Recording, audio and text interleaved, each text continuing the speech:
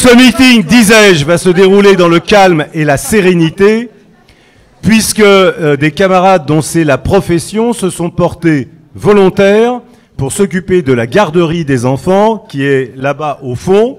On me dit qu'il y a beaucoup d'enfants, beaucoup de jouets, quelques animateurs, que les parents soient rassurés. Donc en principe, ils ne devraient pas euh, perturber notre meeting. Voilà. Et je tiens à dire, pour être tout de suite dans la tonalité, que la majorité des volontaires pour s'occuper de la garderie sont naturellement des hommes.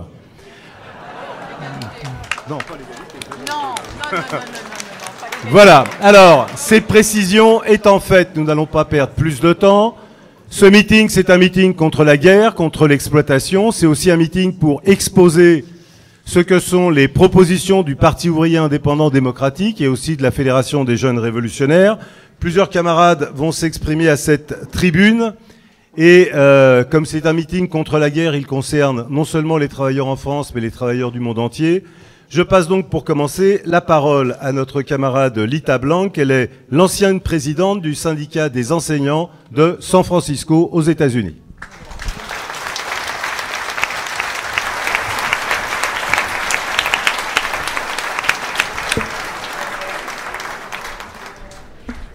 Um, je, oh, I'm going to speak in English. Uh, Danielle is going to translate. Thank you very much for inviting me to your meeting this afternoon. I'm very honored. Both here and in the US, we are living. Ouais. Merci de m'avoir invité à participer à ce meeting. C'est un grand honneur pour moi. Vas-y. Both here and in the US, we are living a moment of both of great fear and of hope as we are facing a ferocious attack on working class and on women. Ici en France, comme chez nous aux États-Unis, nous traversons une période dans laquelle nous sommes confrontés à la fois à beaucoup d'espoir, mais aussi à des attaques extrêmement féroces contre les femmes et contre la classe ouvrière. As soon as the U.S. Supreme Court overturns the decision which in 1973 legalized abortion, our already limited access to abortion will be drastically reduced. Aussitôt que la Cour suprême aura abrogé la décision prise en 1973 qui légalisait l'avortement, alors l'accès à l'avortement, qui est d'ores et déjà extrêmement restreint, sera drastiquement réduit. In 26 states, almost overnight, abortion will become illegal, uh, affecting disproportionately poor women, women of color, and women who live in rural communities.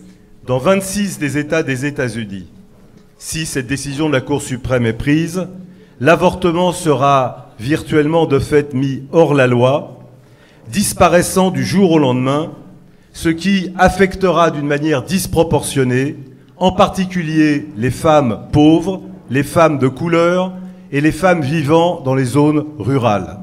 I'm here today to tell you that faced with such a blatant attack, One week ago, over 1 million women and their allies um, marched under the banner of bans off our body in the United States. Je, je viens vous dire ici que confronté à une attaque aussi flagrante, il y a une semaine, environ un million de femmes et, euh, de leur, et leurs alliés ont manifesté euh, sous une banderole sur laquelle il était écrit Bans off our bodies, c'est-à-dire ne touchez pas à nos corps.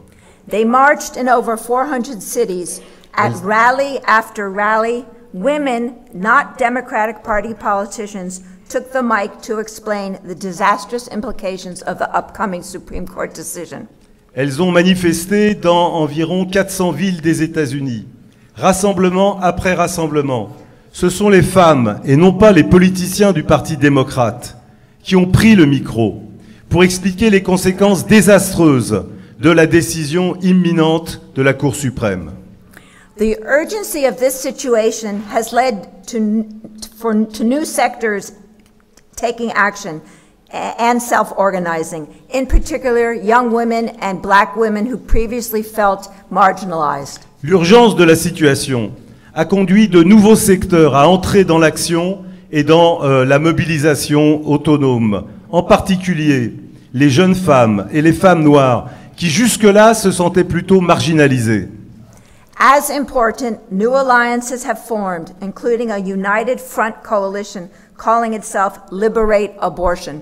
Extrêmement important le fait que de nouvelles alliances, de nouvelles coalitions se sont constituées à cette occasion, incluant une coalition de front unique qui s'appelle euh, Libération de l'avortement.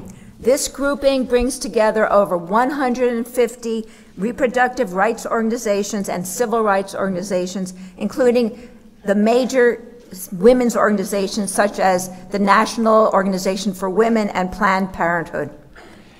Ce, euh, ce regroupement, cette alliance, réunit environ 150 organisations démocratiques et de défense du droit des femmes à choisir librement leur euh, grossesse ou non, incluant le planning familial et la plus importante organisation des femmes aux États-Unis, qui est l'Organisation nationale des femmes, National Organization of Women. And these organizations have pledged to defend not just the legal right to abortion, but also to fight for abortion that is affordable, available, and stigma-free. Et ces organisations se sont engagées non seulement à défendre le droit légal à l'avortement, mais également à combattre pour que l'avortement soit rendu accessible, qu'on puisse euh, accessible financièrement, que l'on puisse y accéder partout et euh, dénué de toute pression morale visant à stigmatiser les femmes. That will be possible not by voting in more Democrats, as Joe Biden has suggested, but by women and their allies building an independent movement, one that depends on their collective power.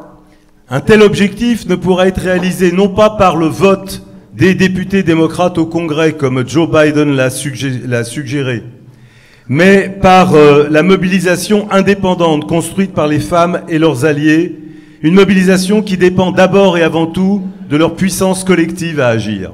A key, compo a key component of this effort must be the organized partic participation of the labor movement. Une, une composante essentielle d'un tel effort, d'une telle mobilisation, doit être donnée par la participation organisée du mouvement ouvrier aux États-Unis. The American labor movement must go beyond producing well-worded declarations and actually mobilize its members in this fight. Le mouvement ouvrier aux États-Unis doit aller plus loin que de simples déclarations verbales bien tournées, mais il doit mobiliser réellement ses membres dans le combat. As one labor activist said at a rally in San Francisco, economic freedom and reproductive freedom are intimately linked. Comme l'a déclaré un militant, euh, ou une, je ne sais pas, aux États-Unis, une ou un À San Francisco? Oui. Oui. Non, c'était une ou un One Labor Activist. Je ne peux pas savoir si c'est une femme ou un homme. C'était une. Voilà, merci. Pas je, je, ne pouvais pas le deviner. Comme l'a déclaré une militante euh, syndicale euh, à l'occasion du rassemblement de San Francisco, la libération au plan économique est intimement liée à la libération du droit de choisir librement si l'on veut avoir des enfants ou pas. So, every step you take to defend the hard-earned gains of women and the working class here in France affects our own struggle in the United States, coast to coast, to defend those same rights for women in the in the United States. And I thank you for your support and um, your tout, solidarity. Tout pas en avant que vous ferez ici en France pour préserver les conquêtes arrachées de haute lutte par les femmes et par la classe ouvrière rejaillira sur le combat en cours chez nous pour défendre les mêmes droits aux États-Unis. Je vous remercie.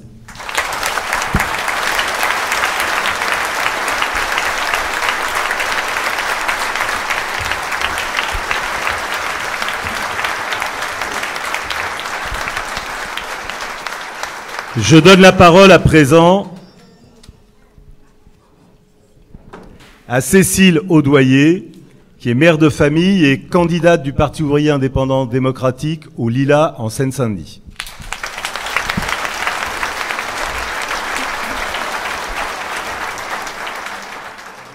Bonjour à tous. Je suis là aujourd'hui pour vous parler d'un problème que beaucoup de parents comme moi vivent au quotidien. Il s'agit du non-remplacement des enseignants absents. Je suis enseignante moi-même, maman de quatre enfants, dont trois sont toujours scolarisés en CM2, 5e et première. Le plus grand a eu son bac en 2020, puis il a fait une année d'université pour faire un dust dans le domaine du sport. Cette année-là, les cours ont tous eu lieu à distance pour cause de Covid. Il n'a eu que les cours de sport en présentiel. Bilan de sa première année, échec, pas de place pour redoubler, car trop de redoublants sur sa promo. Il est aujourd'hui livreur de sushi. Cette année, mon fils de 5e a perdu entre septembre et avril 98 heures de cours, dont 25 heures d'anglais, car son enseignante était absente, une période entière de cette semaine sans être remplacée. Vous me direz, 98 heures de cours sur l'année, ça ne fait pas tant que ça. Oui, mais dans son collège, certains ont cumulé 11 semaines sans professeur de mathématiques, 9 semaines sans professeur d'histoire géo, parmi eux des élèves de 3e qui passent le brevet en fin d'année. Tout cela n'est pas nouveau. L'année dernière, un professeur de mon fils est parti en retraite en cours d'année. Il aura fallu plusieurs semaines à l'éducation nationale pour trouver un remplaçant. Je suppose que cet enseignant avait déposé son dossier de retraite bien avant. L'éducation nationale n'a juste pas anticipé ce départ qui était prévu de longue date. En école primaire, la situation n'est guère plus réjouissante. Au retour des vacances de Noël, en janvier le 3 janvier 2022, il manquait dans ma commune 60 enseignants en maternelle et en élémentaire qui n'ont pas pu être remplacés.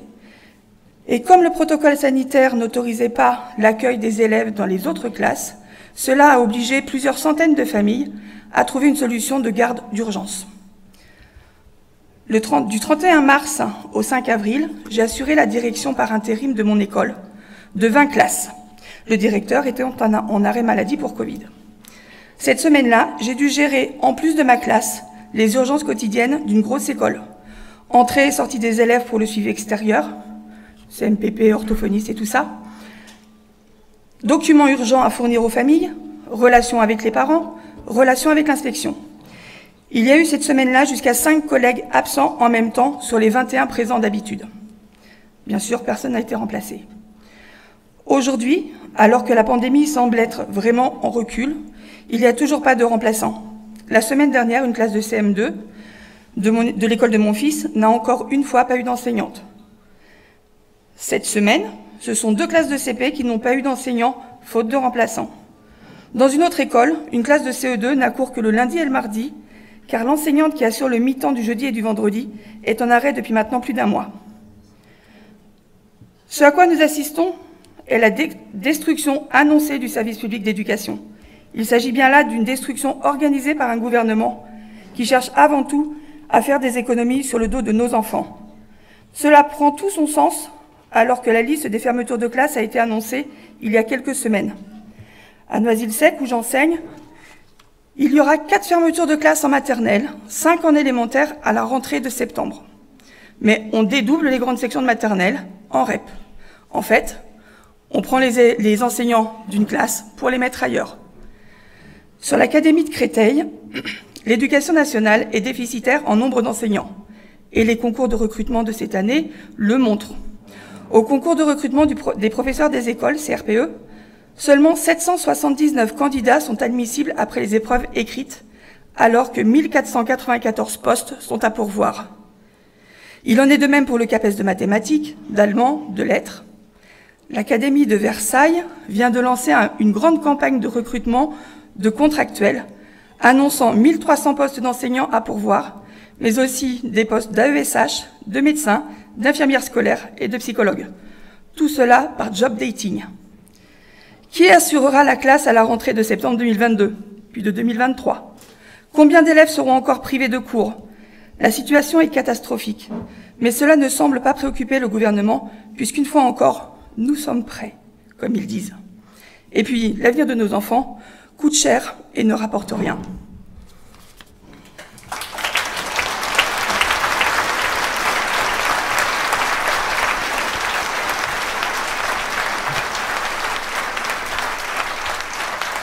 La parole est à présent à Fabrice Criquet, il est syndicaliste sur l'aéroport de Paris et militant du POID.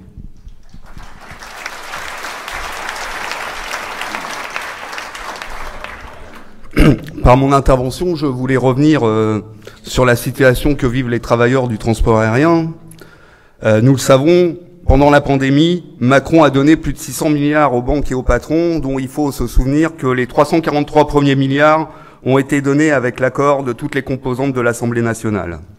Les patrons s'en ont servi pour licencier par milliers et milliers de travailleurs et remettre en cause les droits ouvriers. Dans l'aérien, ça a pris la forme de centaines et de centaines de plans de licenciement dans les grandes entreprises de l'aérien, mais aussi de leurs sous-traitants. Si on prend l'exemple d'Aéroport de Paris, là où je travaille, ça a pris la forme, prétextant la pandémie et la baisse du trafic aérien, la forme d'un plan de suppression de 1150 collègues et d'un véritable chantage au licenciement pour ceux qui restaient, où on demandait aux agents d'accepter des baisses de 10% de salaire, soit d'être euh, licenciés. C'était il y a un an et euh, une grève profonde a duré plusieurs semaines, des assemblées générales massives, avec, euh, on pouvait le constater, une grande unité sur la même revendication qui était le retrait du, pacte, qui était le plan du patron que je viens de vous évoquer, et une détermination, une aspiration profonde de l'ensemble des collègues à l'unité, de leurs organisations, à contrôler et à décider de leur grève. Cette aspiration euh, profonde, elle s'est heurtée euh, à des obstacles, à des tentatives de division, et il a fallu euh, un coup de force de la direction et certains dirigeants d'organisations syndicales pour signer dans le dos des travailleurs mobilisés et en grève un accord de fin de grève. Malgré tout, malgré ce coup de force, la grève a permis des reculs. Nous avons depuis un an 5% de salaire de baisse contre les 10% qui étaient initialement prévus. Mais un an après, que vivons-nous? Le trafic aérien revient. Tous les groupes de travail sont en sous-effectif. Au point que, et je vais vous lire des témoignages que j'entends dans les assemblées générales, dans les réunions de collègues, les collègues s'interrogent à dormir sur les parkings pour économiser du carburant. Euh, les vacations sont des supplices. Une autre nous dit euh, se battre pour les salaires c'est essentiel parce qu'on ne pourra pas continuer, mais faut aussi se battre pour les effectifs parce qu'on ne pourra pas passer l'été. On ne peut même plus aller aux toilettes on peut même plus prendre de pause. Euh, un autre nous dit les formations réglementaires participant de la sécurité de l'aérien ne sont plus tenues. Bref, c'est un véritable démantèlement euh, d'aéroports de Paris que nous euh, vivons. Et la seule réponse de la direction, c'est de dire bah nous allons sous-traiter telle activité puisque nous n'avons plus les effectifs et que nous ne pouvons plus recruter, c'est-à-dire la marche en avant vers la privatisation de dizaines et dizaines d'activités.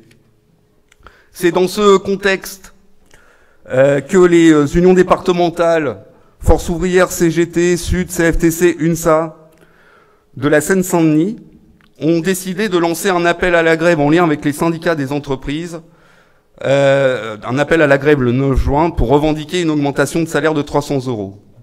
Les assemblées générales sont convoquées dans quelques jours et dans les jours qui viennent de s'écouler, euh, les collègues n'attendent pas les assemblées générales, ils se réunissent déjà entre eux. Hier soir, un groupe de travail a décidé la grève illimitée en interpellant les dirigeants syndicaux en disant cette fois c'est la grève illimitée. Une autre dise, euh, euh, il y a deux jours de ça, qui disait la, la, chose suivante, nous n'avons plus d'autre choix, c'est une question de survie pour nous et nos familles. Et cette grève dont je vous parle, elle pose bien entendu la satisfaction de la revendication sur les augmentations de salaire, elle pose la question de l'unité comme condition essentielle pour arracher et obtenir satisfaction, pour l'unité pour lever les obstacles qui se dresseraient contre elle pour des tentatives que l'on commence à voir se dessiner de, de division. Et elle pose aussi les mesures d'urgence que devrait prendre un gouvernement, un gouvernement au service de la majorité, qui n'hésiterait pas à renationaliser Aéroport de Paris, renationaliser Air France, qui n'hésiterait pas à aller puiser dans les milliards donnés à Macron et aux banques pour satisfaire les besoins de la majorité.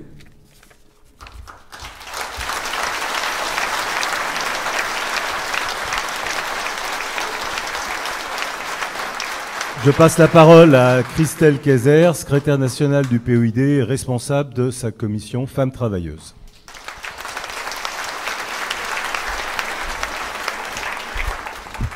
Bonjour à toutes et à tous. Depuis quelques jours, nous avons un Premier ministre, enfin une Première ministre, puisqu'il s'agit d'une femme. Tous les responsables politiques se félicitent de cette bonne nouvelle, enfin une femme Première ministre. Bon, en même temps, il s'agit de la deuxième femme en 150 ans de République. Il n'y a quand même pas de quoi pavoiser. Mais il pavoise et félicite Elisabeth Borne. Toutes saluent ses qualités. La socialiste, entre guillemets, Édith Cresson, la première femme Premier ministre sous la Ve République de 91 à 92, parle d'Elisabeth Borne comme d'une femme remarquable. Valérie Pécresse, ancienne candidate Les Républicains à l'élection présidentielle, souligne son parcours d'engagement incontestable et nécessaire pour devenir la deuxième femme Premier ministre de notre pays. Rosine Bachelot lui souhaite plein succès dans cette nouvelle et passionnante mission. Brigitte Macron est, je cite, folle de bonheur. Quant à Marlène Schiappa, elle tweet Une femme à Matignon, immense joie, félicitations chaleureuses. Elisabeth Borne, dont on connaît les valeurs ancrées, les engagements forts et le grand sens de l'État, jour historique pour l'égalité homme-femme, merci Emmanuel Macron.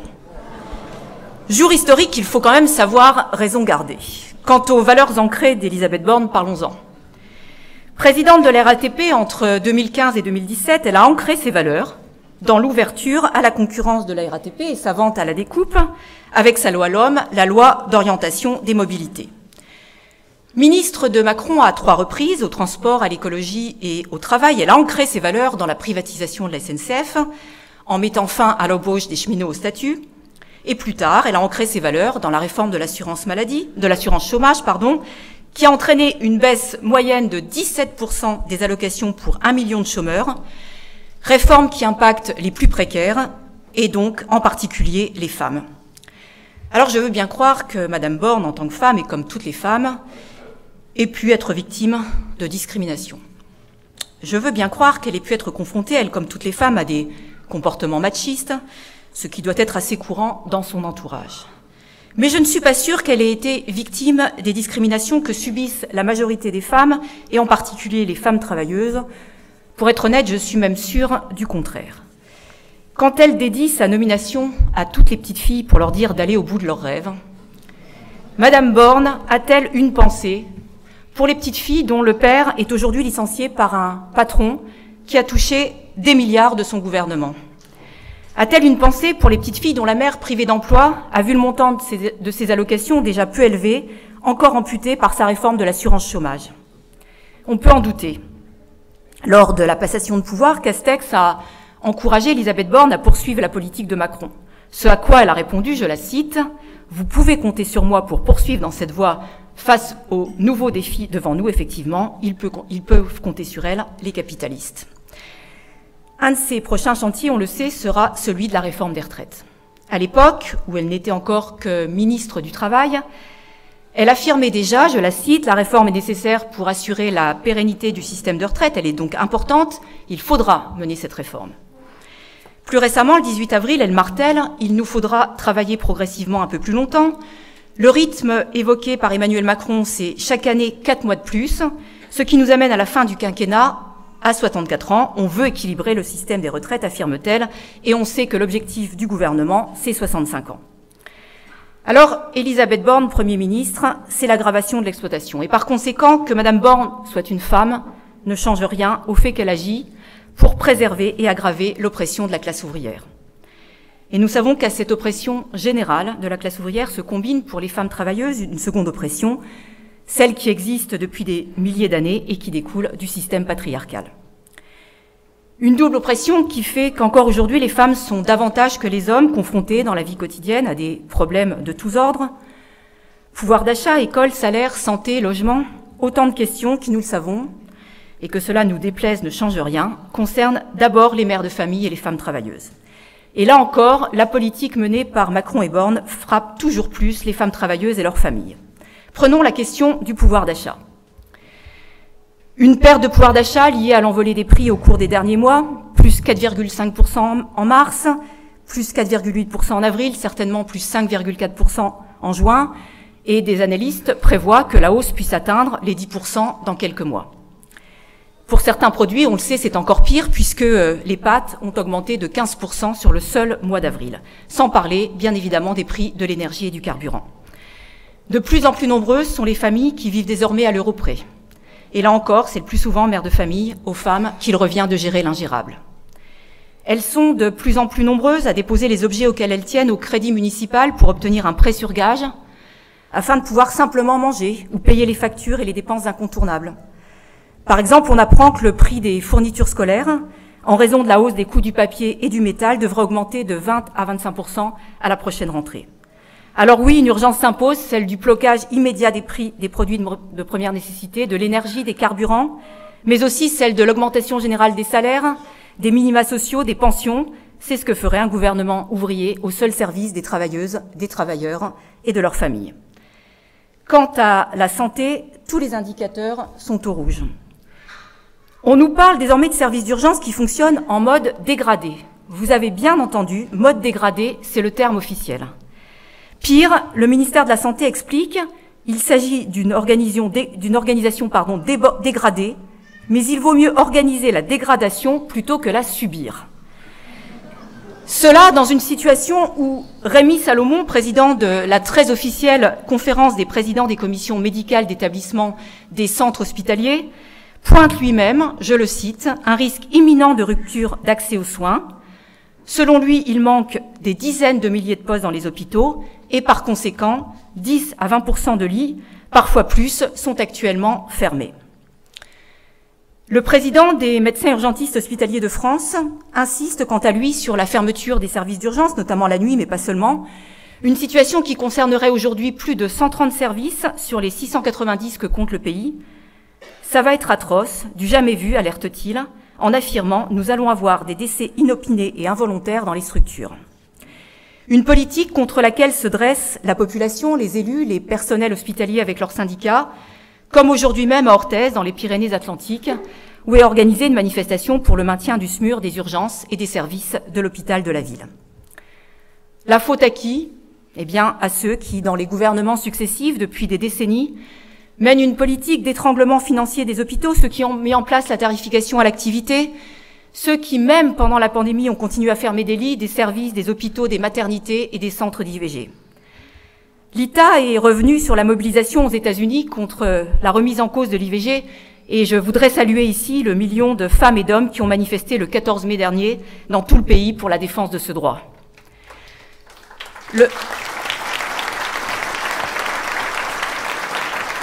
Le droit à l'IVG aux États-Unis, en France et dans le monde entier doit être inconditionnellement défendu sur le plan juridique, mais aussi dans les faits. En France, on le sait, ce droit existe depuis 1975, une conquête démocratique gagnée grâce à la mobilisation des associations de femmes, mais aussi aux organisations du mouvement ouvrier. Pour autant, peut-on dire que toutes les femmes qui en ont besoin peuvent accéder aujourd'hui à l'IVG en France? Certainement pas. Les centres d'IVG ferment les uns après les autres, fermetures liées aux restructurations hospitalières, aux fermetures de maternités. On sait que quand une maternité ferme, un centre d'IVG ferme, et aux suppressions de postes. Depuis 2017, 8% des établissements réalisant un IVG, des IVG ont fermé, soit 130 centres. De nombreux départements ne disposent plus d'un centre d'IVG, obligeant les femmes à parcourir des dizaines, voire des centaines de kilomètres.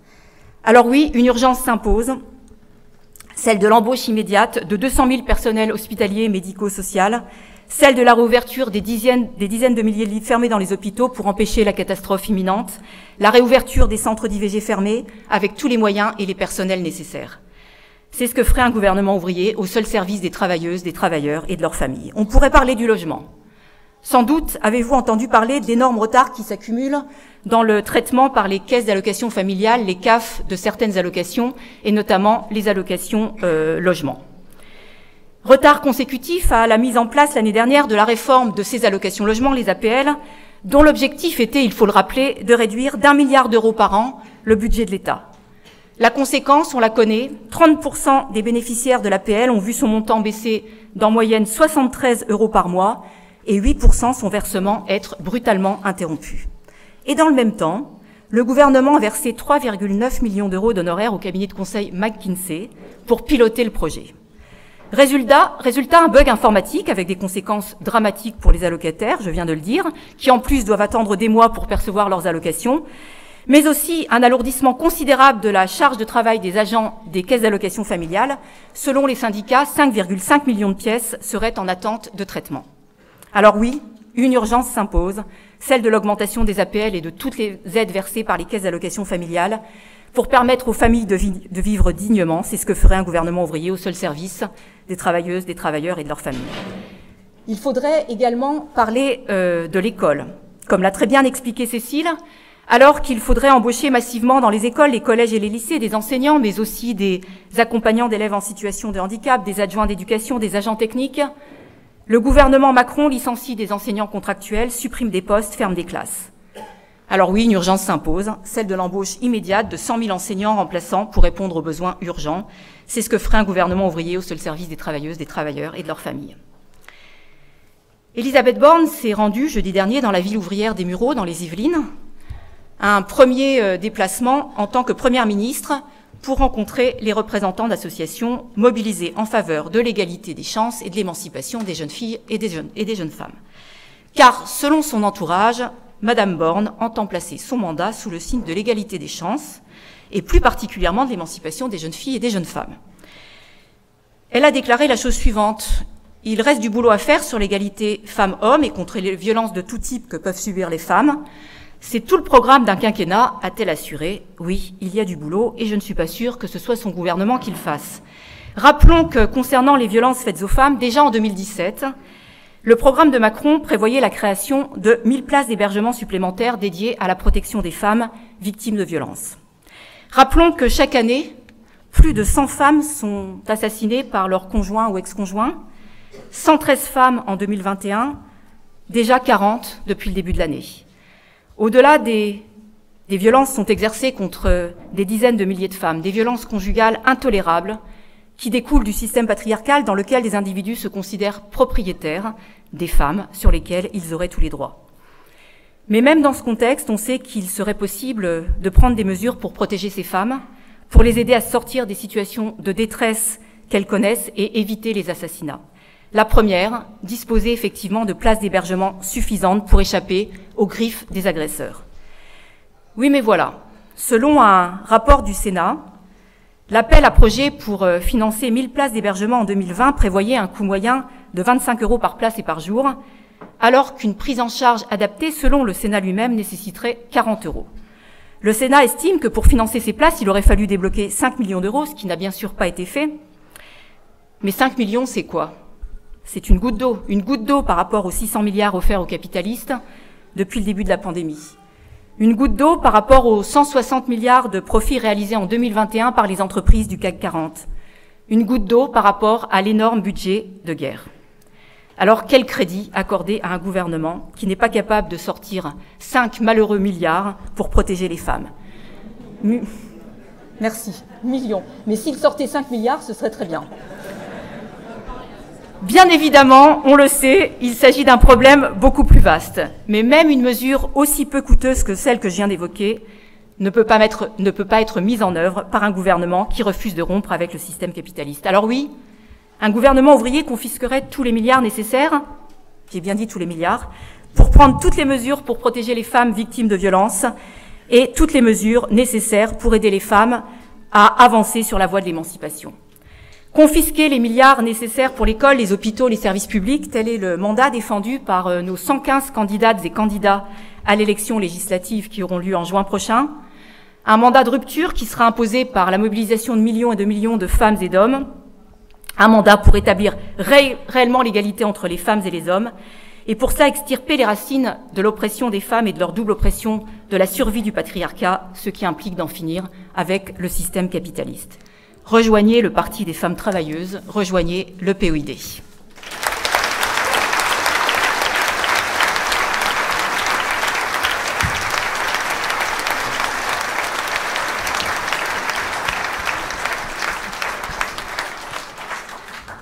La parole à présent est à Camille, qui est étudiante et qui parle au nom de la Fédération des jeunes révolutionnaires.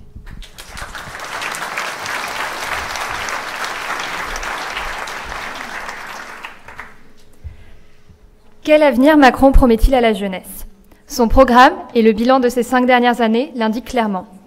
Déjà, le SNU, Service national universel et équivalent du service militaire, sera rendu obligatoire pour tous les jeunes de 16 ans d'ici 2023. Puis, Macron a annoncé vouloir doubler le nombre de réservistes de l'armée. Comment compte-t-il s'y prendre? D'abord, le SNU sera un outil central de la propagande militaire pour le gouvernement, et des militaires se rendent déjà devant des lycées pour tracter et recruter parmi la jeunesse. Et cela ne s'arrête pas là. Le ministère des Armées a même mis en place l'AFSF, allocation financière spécifique de formation.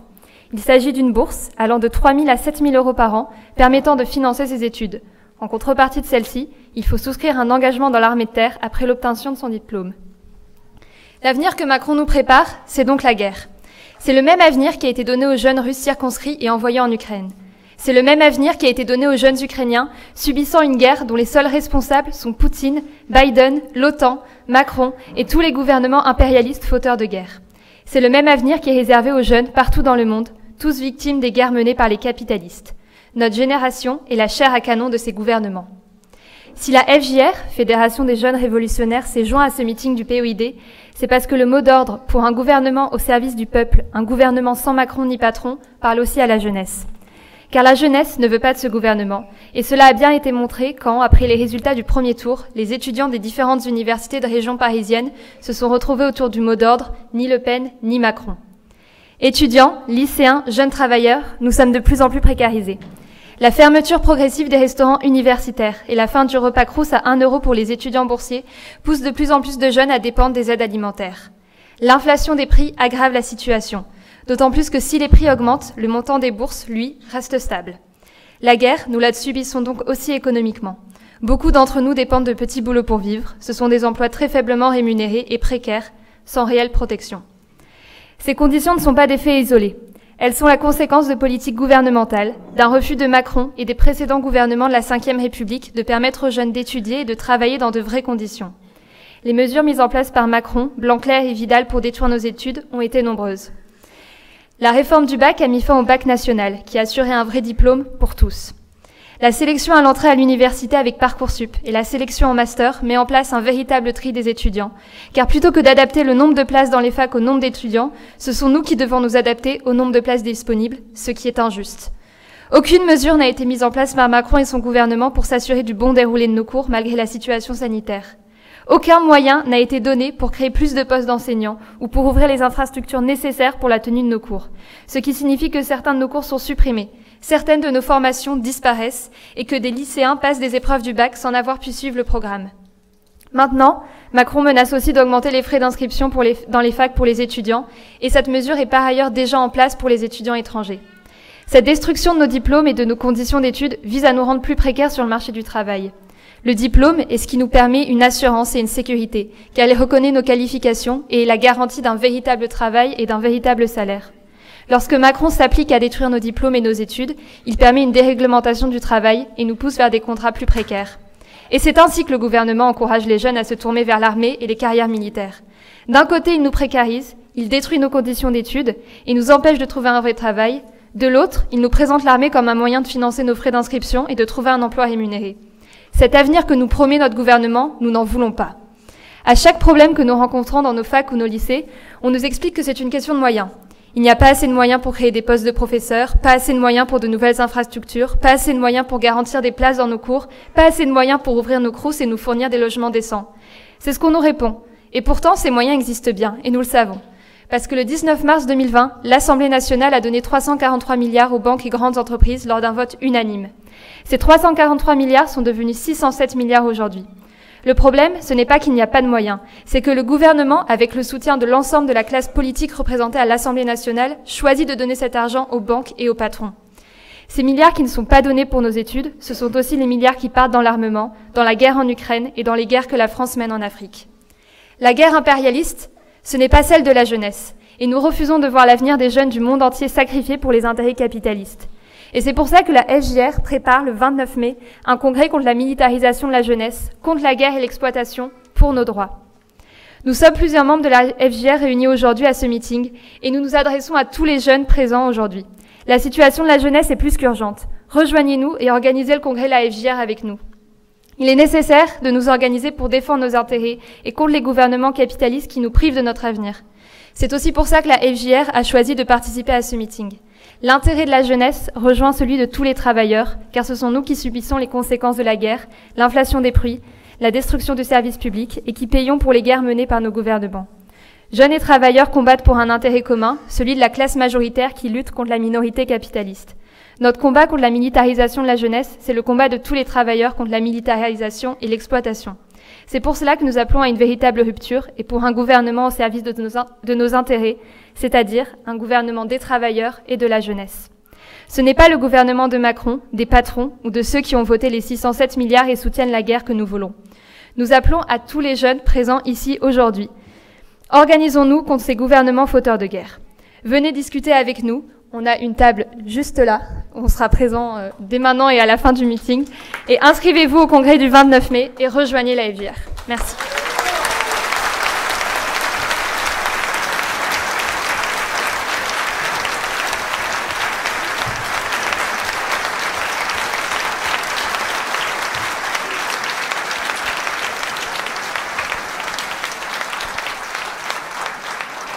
La parole est à présent au camarade Dominique Ferré. Il est le responsable des pages internationales de la Tribune des Travailleurs et il est aussi porteur de messages que nous avons reçus de camarades qui combattent dans des conditions difficiles en ce moment à l'est de l'Europe.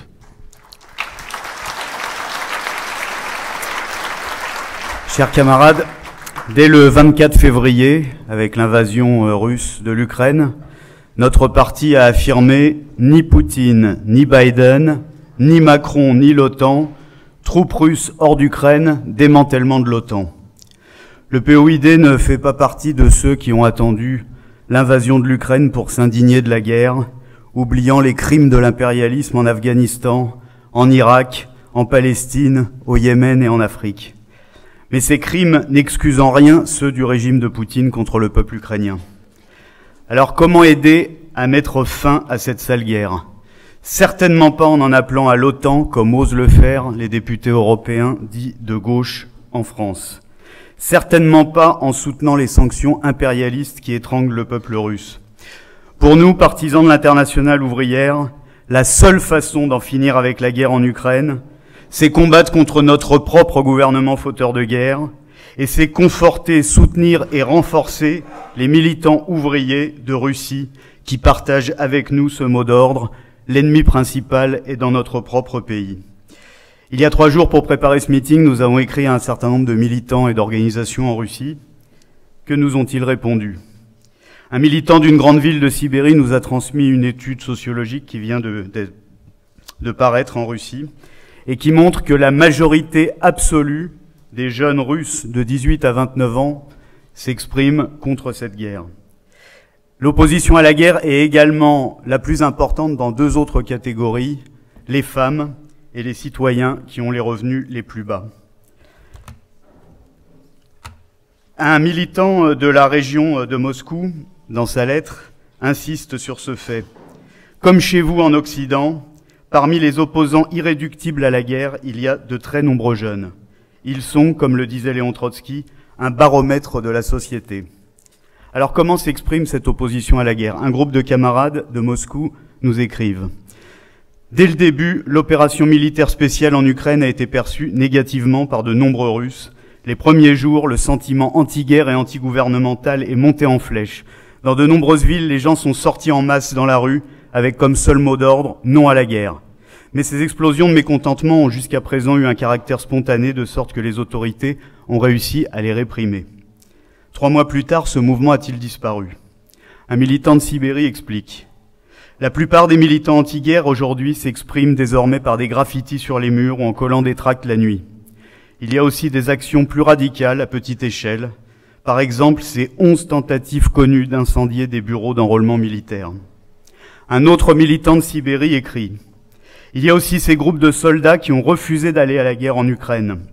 C'est encore plus significatif, dit-il, car pour un soldat engagé, refuser la guerre signifie un licenciement immédiat et définitif de l'armée et de possibles poursuites judiciaires.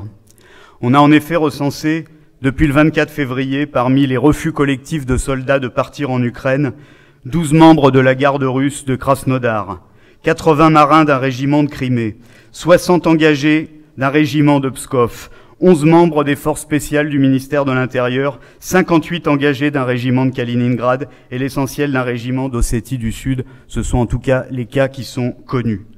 Ces soldats engagés viennent souvent des régions les plus pauvres de Russie, des régions où la désindustrialisation a frappé, celles où le seul employeur possible, c'est l'armée. C'est pourquoi on a vu aussi des rassemblements de mères et d'épouses de soldats qui exigent ramener nos fils et nos hommes à la maison, jusque dans les soi-disant républiques séparatistes pro-russes de la région du Donbass en Ukraine.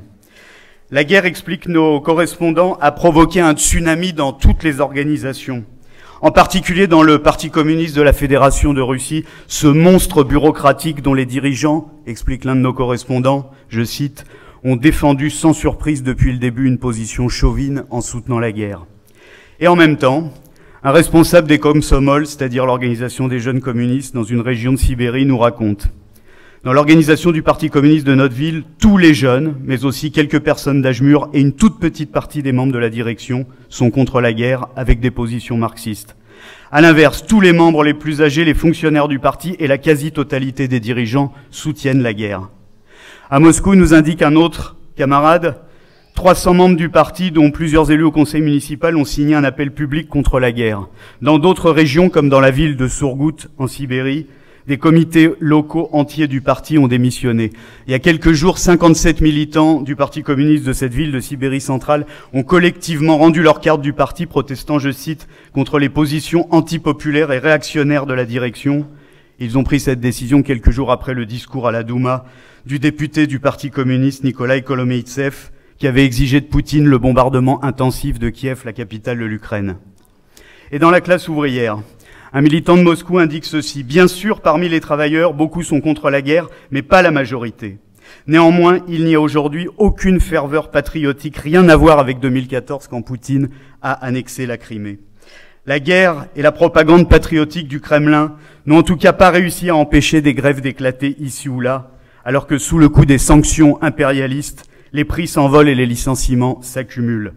Un militant raconte dans la ville de Novosibirsk, 200 travailleurs de la société de ramassage des ordures poursuivent leur grève depuis le 19 avril 2022 contre la détérioration des conditions de travail. Le 9 mai, au, 21, au 21e jour de la grève, l'Assemblée générale a décidé de constituer un syndicat. Deux jours plus tard, le syndicat a été déclaré. Le 16 mai, le syndicat a proposé d'ouvrir des négociations. Un autre camarade dans la région de Moscou attire notre attention sur la célèbre usine de construction de locomotives de Kolomna.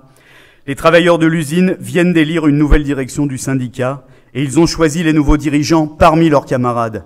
Le syndicat lutte désormais activement contre l'arbitraire patronal. La direction de l'usine a tenté d'intimider les militants avec des méthodes policières, mais elle n'y est pas parvenue. Parmi ces grèves, ici ou là, évidemment, il y a celle des livreurs à Moscou. Un camarade nous explique en ce moment, les gens voient leurs revenus s'effondrer. Mais en Russie, les livreurs ne sont pas couverts par le Code du travail, contrairement aux ouvriers d'usine. Alors, des grèves de livreurs ont éclaté principalement à Moscou.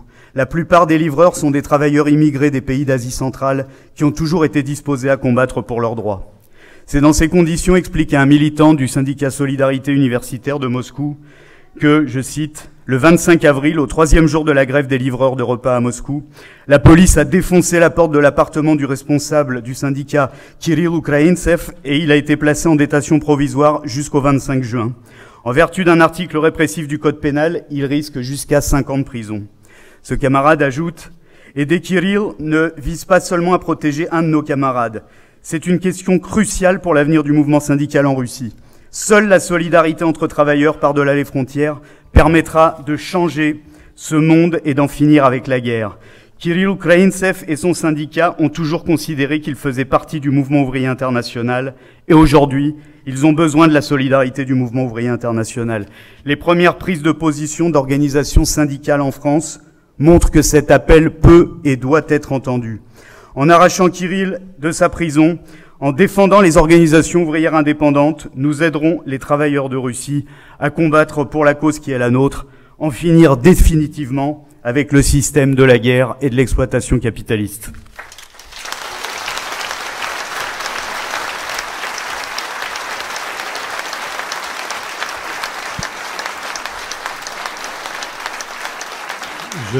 je, signale pour les, camarades euh, qui le souhaitent euh, bien évidemment, les organisations syndicales auxquelles vous participez peuvent être sollicitées pour, à leur tour, envoyer un message de soutien à Kirill Ukraintsev et euh, demander sa libération. Vous avez dans la tribune des travailleurs toutes les informations à ce sujet, et plus il y aura de prise de position, plus évidemment ça euh, sa libération. La parole est à présent à Lila Ahmed, elle est syndicaliste fonctionnaire territoriale en Seine-Saint-Denis.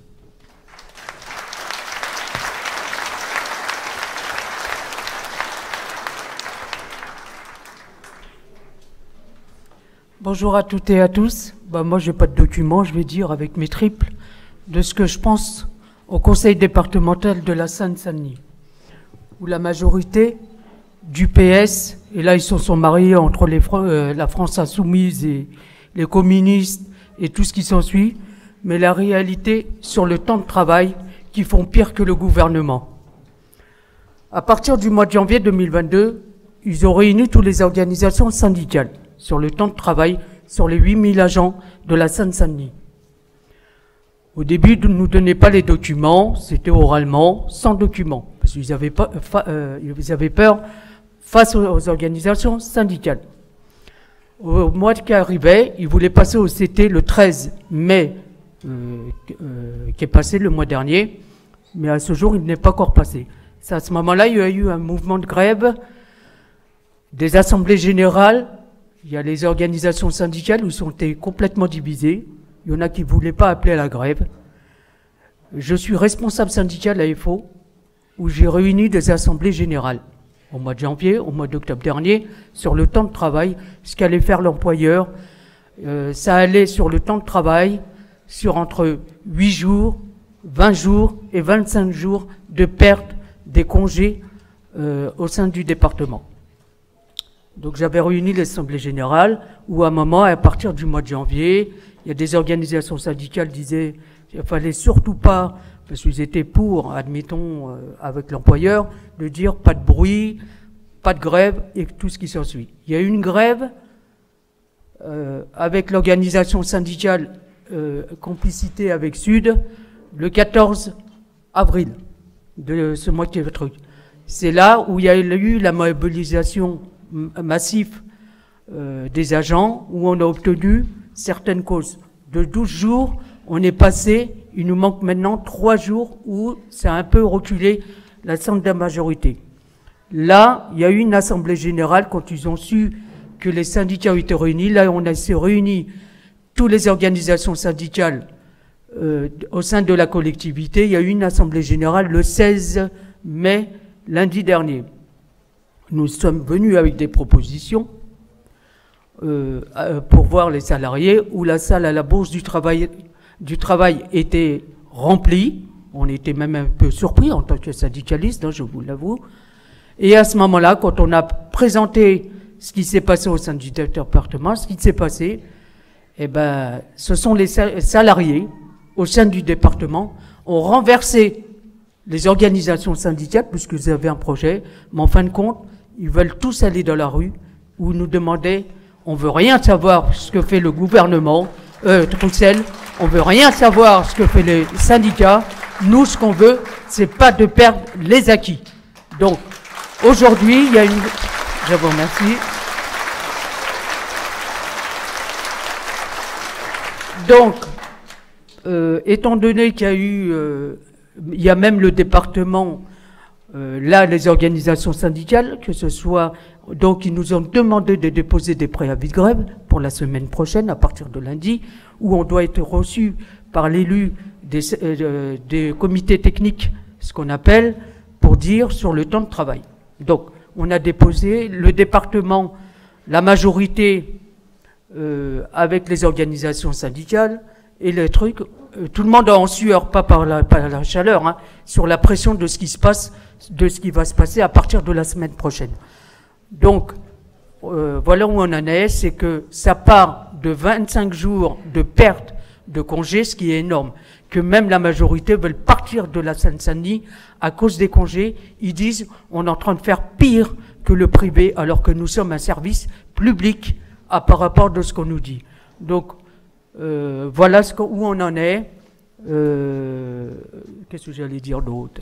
On se battra jusqu'au bout auprès de salariés pour pas un jour en moins et pas un jour, pas une minute de plus. Je vous remercie.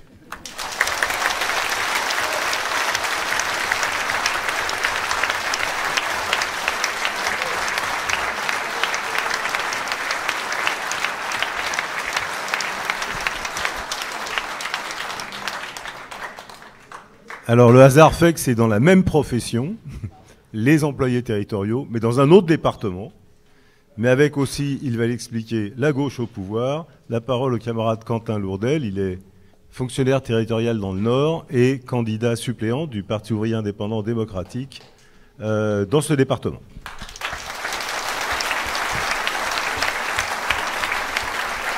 Merci bonjour camarades. Alors, je suis pas fonctionnaire, euh, Daniel. Je suis, ça fait huit ans que je suis contractuel. Je suis animateur dans les écoles. C'est pas grave, je t'en prie. Je salue d'ailleurs mes camarades animateurs qui sont là-bas avec les enfants. Je suis également militant CGT et candidat suppléant du POID aux législatives dans la deuxième circonscription du Nord. Donc,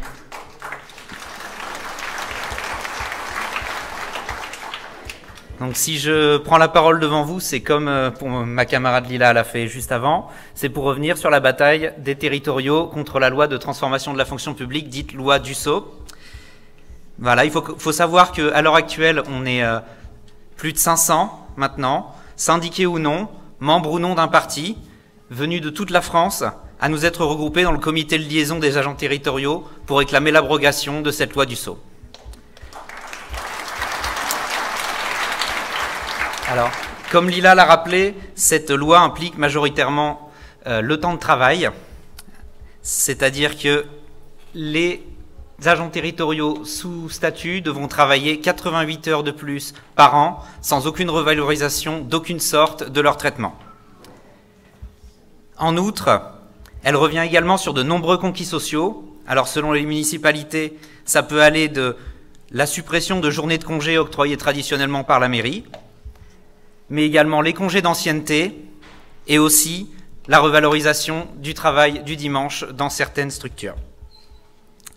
Alors je ne m'étendrai pas davantage sur le fond de la loi, hein. vous pouvez euh, retrouver, euh, en prendre connaissance régulièrement dans les pages de la Tribune des Travailleurs, notamment cette semaine. En revanche, je souhaiterais parler du coup de sa mise en place au sein de la municipalité où je travaille, Lille, mairie censément de gauche, avec une majorité PS-PCF et une forte minorité Europe Écologie Les Verts.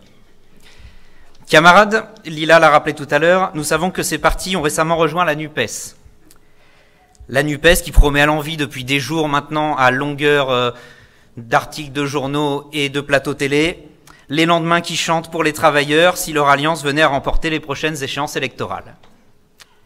Mais ceux-là même qui nous prédisent monts et merveilles sous leur gouvernement hypothétique il faut tout de même se rappeler qu'ils se sont majoritairement couchés devant Macron au moment d'appliquer cette loi anti-ouvrière. Pour prendre l'exemple de la mairie de Lille, dirigée depuis plus de 20 ans maintenant par Martine Aubry, Martine Aubry, cette grande femme de gauche, Martine Aubry, la dame des 35 heures, comme on nous le rappelle souvent, eh bien Martine Aubry n'a pas attendu longtemps pour s'aligner sur l'exécutif et collaborer à la mise en place de la loi du sceau avec un zèle admirable. Dans la presse régionale, Madame Aubry a dénoncé cette loi comme étant contre ses principes, on l'en remercie, tout en assurant qu'elle la mettrait en œuvre parce que, je cite, je suis républicaine. Dans le même temps, son adjoint au dialogue social versait des larmes de crocodile dans cette même presse sur le déchirement que représentait pour lui le fait d'appliquer cette loi. Oui, on souffre, oui, notre cœur saigne, mais on va le faire quand même. Camarades, on ne peut pas rester insensible devant une telle tragédie. Je vous avoue qu'à Lille, chez les agents territoriaux, nous avons versé une larme en songeant que ces messieurs et ces dames passaient de mauvaises nuits à cause de nous. Or, mon syndicat, pendant les mois qui conduiraient cette euh, lutte contre la loi du SOPT et qui n'est toujours pas terminée, mon syndicat, la CGT, a eu le temps de faire un petit calcul.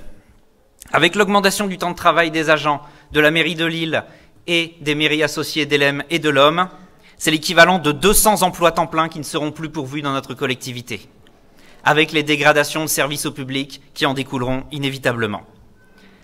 En outre, comme je vous l'ai dit, cette loi, ce n'est pas uniquement le temps de travail. Je pense également au personnel à Lille des piscines, des médiathèques, des bibliothèques, et une pensée toute particulière pour un collectif de femmes de ménage qui sont souvent des mères célibataires, qui vivent dans des conditions très difficiles et qui vont voir, à cause de cette loi, la fin de la majoration du salaire pour le travail le week-end, qui était une respiration dont maintenant elles devront se passer. Camarades, on a tous entendu les dirigeants de la NUPES promettre que si demain ils sont au pouvoir, ils abrogeront toute une série de contre-réformes et de lois anti-ouvrières. Mais plutôt que de belles promesses, on peut s'interroger sur le fait que, alors que leurs dirigeants contrôlent des milliers de collectivités territoriales, ils n'ont pas plutôt refusé d'appliquer la loi du SOPT.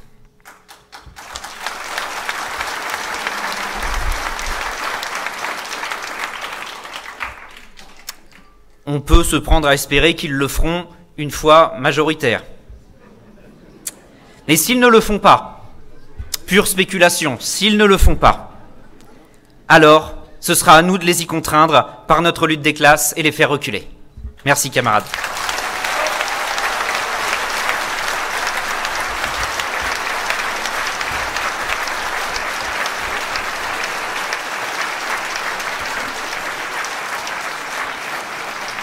C'est ça. Alors la parole à Daniel Glucksten, secrétaire national du POID.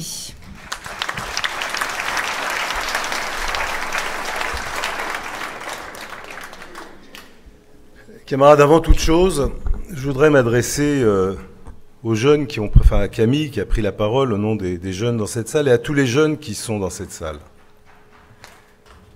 Je voudrais m'adresser à vous pour vous dire, ne croyez pas un seul instant ceux qui vous disent que plus on enverra des armes en Ukraine, plus se rapprochera l'heure de la victoire et donc l'heure de la paix.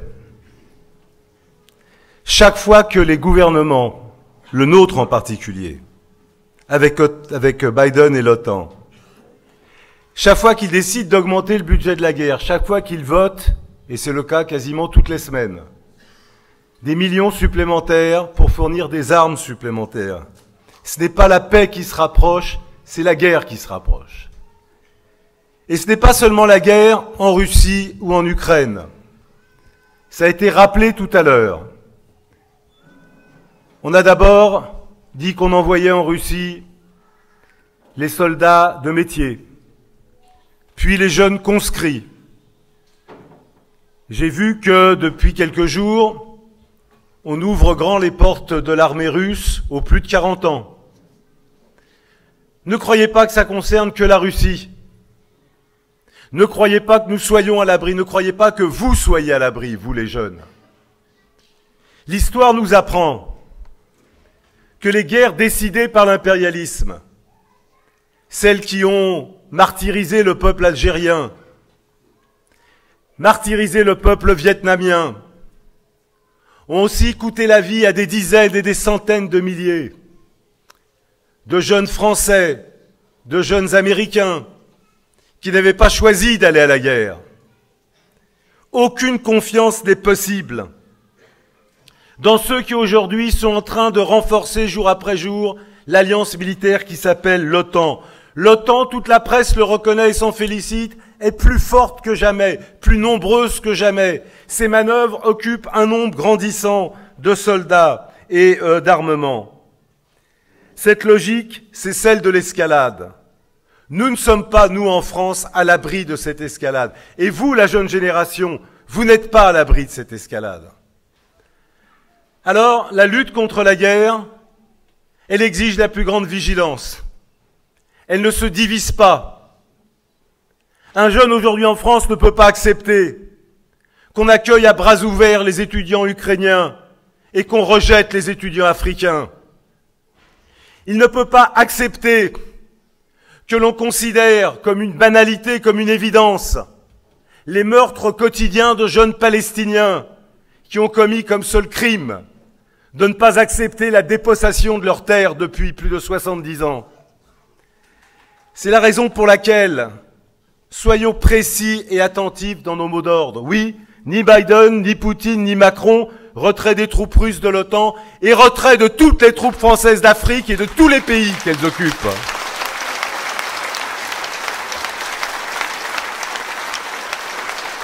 Oui, nous revendiquons ce vieux mot d'ordre du mouvement ouvrier. Notre ennemi n'est ni dans le peuple russe, ni dans le peuple américain, ni dans le peuple ukrainien. Notre ennemi est dans notre propre pays, c'est notre propre gouvernement. Et c'est la raison pour laquelle nous préparons cette conférence mondiale du mois d'octobre prochain, conférence ouvrière internationale, pour l'internationale ouvrière.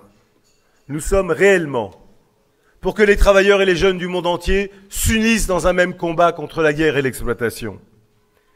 Et puis je voudrais adresser un deuxième message aux jeunes. Vous êtes sensibles, et nous le savons, à une question importante qui est celle de l'environnement.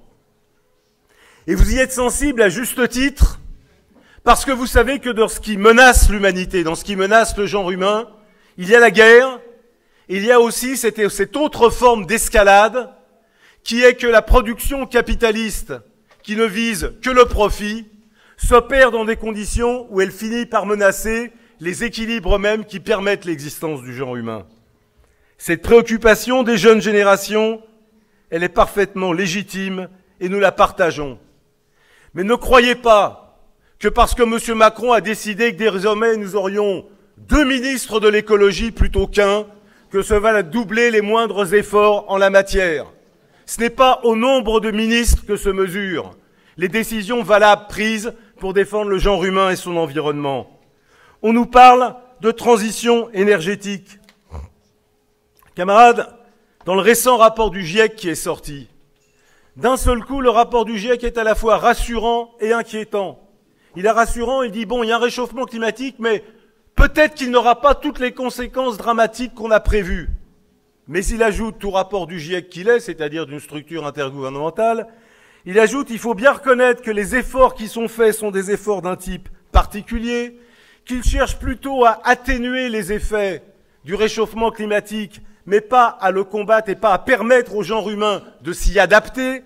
Et puis finalement, je, ne l'ai pas lu, mais un camarade qui m'a envoyé une note qu'il a lue euh, l'explique assez clairement, Finalement, qu'est-ce qu'il tire comme conclusion ce rapport de GIEC, pourtant favorable au gouvernement? Il dit qu'il serait important de prendre des mesures qui visent à permettre au genre humain de s'adapter à la situation nouvelle et pas seulement des mesures qui visent à atténuer. Et puis, les mesures qui sont prises, ben en fait, même si c'est pas dit comme ça, on comprend que c'est celles qui peuvent générer du profit.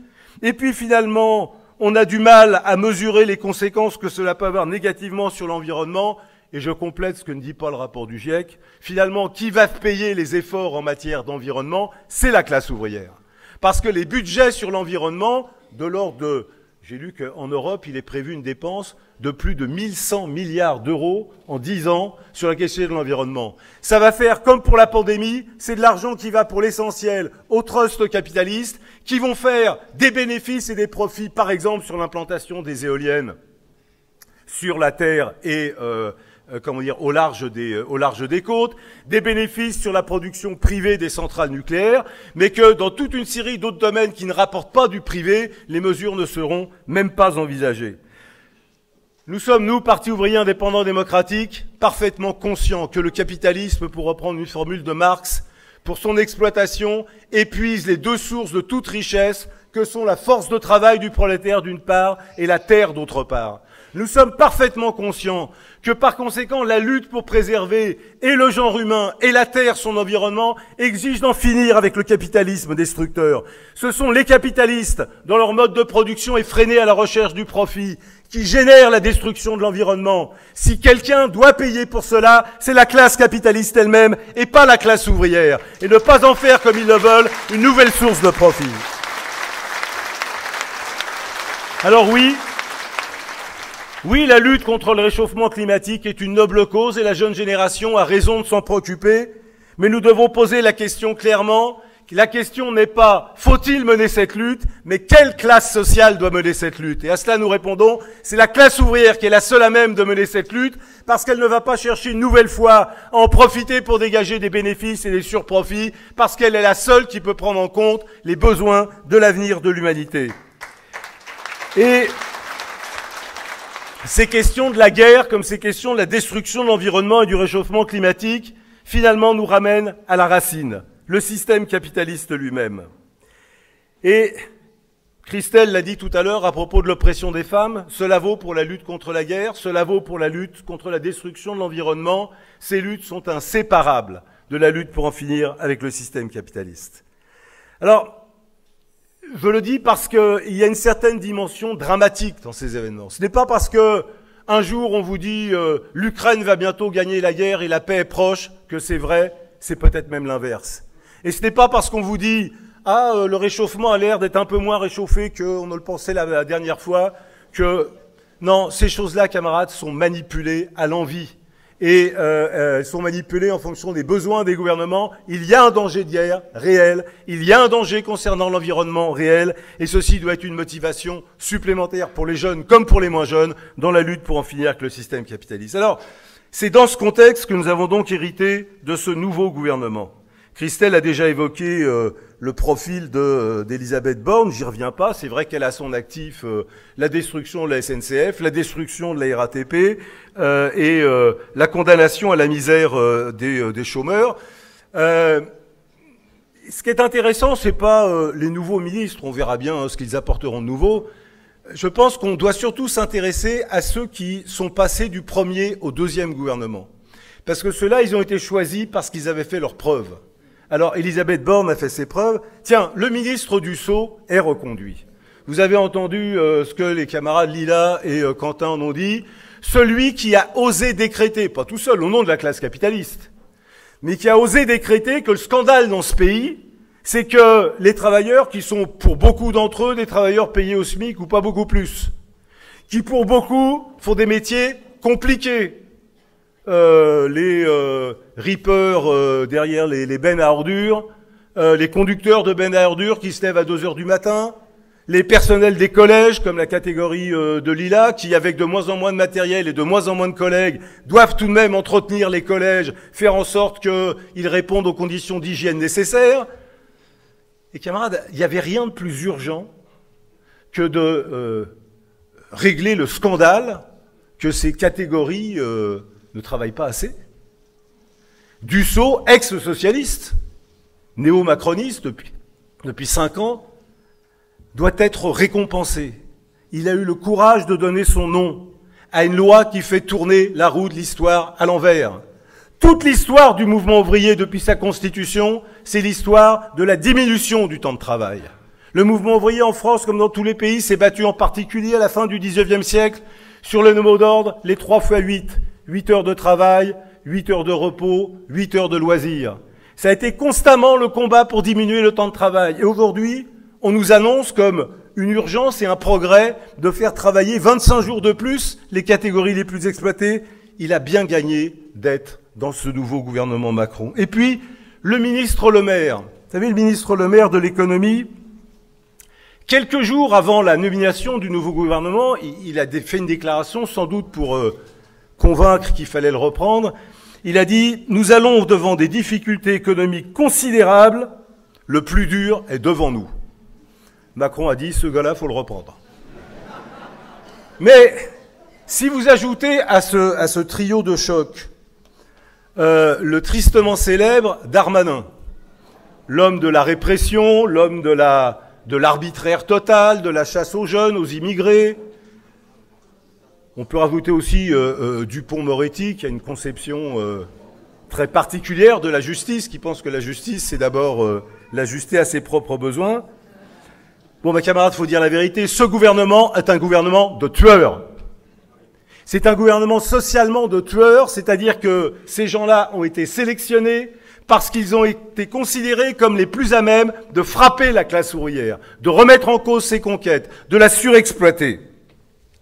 Et c'est le mandat de Macron. Il a été élu pour cela. Euh, quelqu'un que vous connaissez peut-être pas, euh, moi non plus d'ailleurs, mais son nom est dans la presse, qui s'appelle François Villeroy de Galliot, qui est le euh, gouverneur de la Banque de France, a dit les choses très simplement dans le journal Les Échos. Il a dit voilà, la dette est beaucoup trop importante. C'est vrai qu'elle est importante puisque ils ont quand même donné 600 milliards en deux ans au patron. Donc tous les 600 milliards dont on parle là, il a fallu les emprunter quelque part. Donc la dette est plus forte de 600 milliards aujourd'hui qu'il y a deux ans. Et le gouverneur de la Banque de France dit tout ça n'est pas raisonnable, il faut maintenant arrêter, il faut rembourser.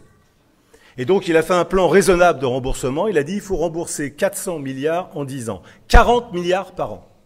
C'est-à-dire que par rapport aux dépenses actuelles de l'État, il faut trouver quelque part 40 milliards pour les donner aux banques qui ont prêté cet argent. Vous savez ce que ça représente, 40 milliards?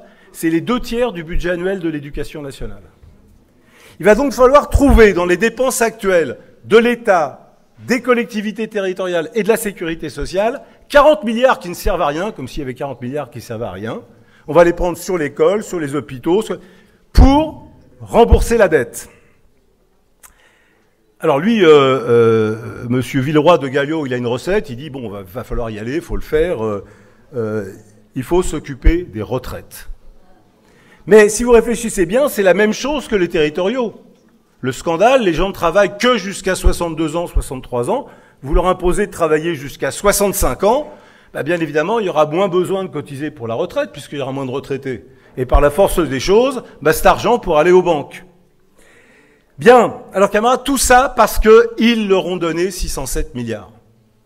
C'est ça le point de départ. Et qu'il faudrait, paraît-il, les, euh, les rembourser. Alors, si on veut comprendre ce qu'est la politique du Parti ouvrier indépendant démocratique, finalement, ça se résume à quelque chose de simple. Ou bien il continue à nous piquer du pognon, ou bien la classe ouvrière récupère ce qui lui appartient. Et finalement, tout se résume à ça. Leur programme, c'est prendre sur nos retraites, nos salaires, notre sécurité sociale, nos droits collectifs, pour engranger plus de milliards à leur profit. Le programme de la classe ouvrière doit être de défendre son pouvoir d'achat, ses conquêtes collectives, obtenir les augmentations de salaire, euh, obtenir le maintien et même la réduction de l'âge de départ en retraite, rétablir les services publics nécessaires de l'école, de la santé, des crèches, des maternités, etc. Et pour cela, contraindre les patrons et le gouvernement à rendre une partie de ce qu'ils ont volé. Et finalement, tout se résume à ça, camarades. Alors oui, oui, nous dénonçons ce gouvernement comme un gouvernement de guerre à l'intérieur et de guerre à l'extérieur. De guerre à l'extérieur parce qu'il est totalement impliqué, lui, avec l'OTAN et les États-Unis, dans la guerre en Ukraine. Je suis pas un spécialiste des questions militaires, mais enfin, vous comprenez qu'il y a des prouesses ukrainiennes, entre guillemets, en Russie, qui sont dues exclusivement à la logistique de l'OTAN, qui est totalement impliquée. Nous sommes en guerre en Ukraine. C'est pas parce qu'il n'y a pas de troupes françaises officiellement en Ukraine que l'État français n'est pas en guerre. Donc c'est un gouvernement de guerre contre le peuple ukrainien, contre le peuple russe, de guerre contre le peuple malien et beaucoup d'autres. Et puis à l'intérieur, c'est un gouvernement de guerre contre le peuple français, les travailleurs et les jeunes. Mais il y a une chose qu'il faut reconnaître à Macron, il ne s'est pas caché que c'était le mandat qu'il sollicitait. Et il a bien l'intention d'accomplir son mandat. Alors, on entend une autre musique. On entend dire, ah oui, mais ça dépend de ce qui va se passer à l'élection euh, législative. Si, par exemple, la NUPES gagne l'élection législative, ça va être différent parce que Mélenchon, Premier ministre, c'est pas pareil qu'Elisabeth Borne, Premier ministre, et ça va changer du tout au tout. J'ai même entendu euh, Madame Mathilde Panot, qui est la, présidente du groupe parlementaire de la France Insoumise, elle a dit en substance, on l'a cité dans la tribune des travailleurs, si nous gagnons l'élection, Macron ne pourra rien faire pour nous empêcher d'appliquer notre politique. Il sera obligé de nous laisser faire notre politique. Alors, excusez-moi, mais dans le village lointain d'où je viens, quand on entend des propos comme ça, on appelle ça des histoires de grand-mère. Avec tout le respect que j'ai pour les grand-mères. Mais pourquoi des histoires de grand-mère Parce que c'est les histoires que les grand-mères racontent pour endormir leurs petits-enfants. Eh bien, n'en déplaise à Madame Panot, les travailleurs ne sont pas des petits-enfants. Qu'on vienne pas nous raconter que euh, si euh, Jean-Luc Mélenchon était Premier ministre, Macron serait paralysé dans l'incapacité de faire quoi que ce soit. Pour des tas de raisons. D'abord parce que c'est pas vrai qu'on élit un Premier ministre. Enfin, vous avez tous vu les affiches euh, euh Élisez-moi comme Premier ministre. On n'élit pas un Premier ministre en France. On élit des députés. Le président choisit un Premier ministre, en principe, parmi la majorité. Il n'est pas obligé. Mais par ailleurs, il peut choisir qui il veut dans la majorité. Tiens, prenons une hypothèse absurde. La NUPES gagne l'élection, mais dans la NUPES, il y a par exemple 60 députés du Parti Socialiste et puis 100 de la France Insoumise. Ils font des groupes séparés, ils l'ont annoncé.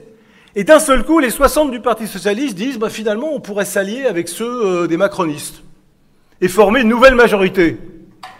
Ah, et à ce moment-là, euh, Macron pourrait dire, bah, je propose que M. Olivier Faure soit le Premier ministre d'une nouvelle majorité. Donc, on n'élit pas un Premier ministre, c'est du baratin.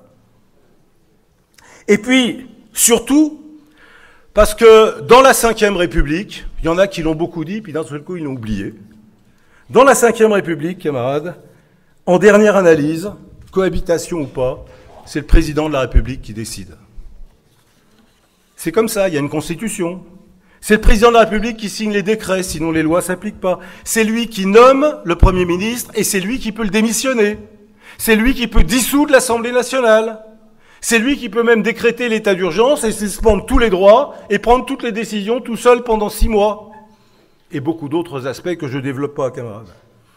Alors on nous dit toujours de ce même côté, de la gauche, qui veut nous donner beaucoup d'espoir, oui, mais regardez, par exemple, le gouvernement Jospin, c'était un gouvernement de cohabitation, et, je cite le camarade Jean-Luc Mélenchon, ouvrez les guillemets, on s'en est pas mal tiré. C'est pas moi qui parle. Alors, il a raison de dire on, puisque je vous rappelle qu'il était membre du gouvernement Jospin. Hein, il était ministre du gouvernement. Mais quand il dit on, il veut dire plus globalement, nous, la gauche, on s'en est bien tiré.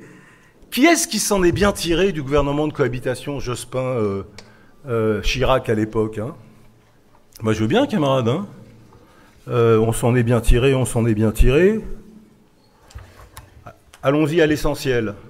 Le gouvernement Jospin, pardon, oui, Jospin-Chirac euh, détient le record du plus grand nombre de privatisations opérées en France par un gouvernement.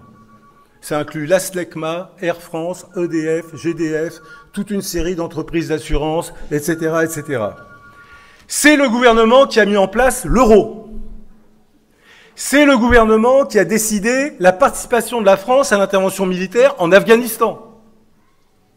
C'est le gouvernement qui a le redoutable privilège pour les plus anciens qui s'en souviennent, que lorsqu'il y a eu en 1995 des mobilisations de millions de travailleurs contre le plan Juppé sur la sécurité sociale, qui était le plan de destruction de la Sécu, la gauche à l'époque a dit nous sommes contre ce plan. Ils ont dit si on arrive au pouvoir, on ne l'appliquera pas. Le hasard des circonstances a fait qu'ils sont arrivés au pouvoir plutôt qu'ils ne le pensaient ou plutôt qu'ils ne l'espéraient. Enfin bon, peu importe, puisqu'il y a eu la dissolution de l'Assemblée.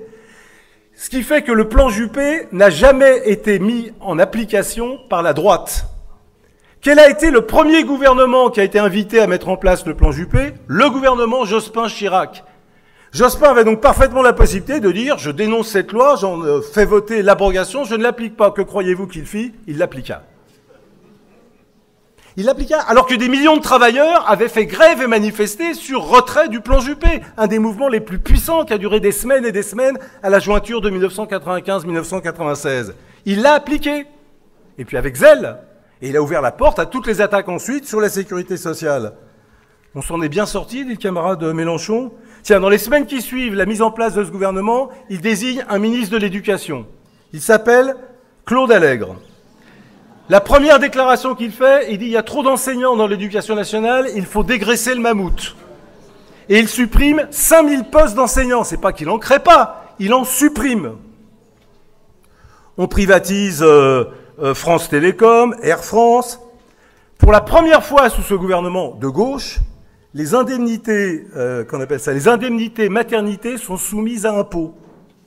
Des milliers de familles qui jusque-là ne payaient pas d'impôts parce qu'ils avaient des revenus trop faibles, à partir du moment où on a compté les maigres indemnités maternité qu'elles touchaient, ont été soumises à l'impôt. Merci la gauche.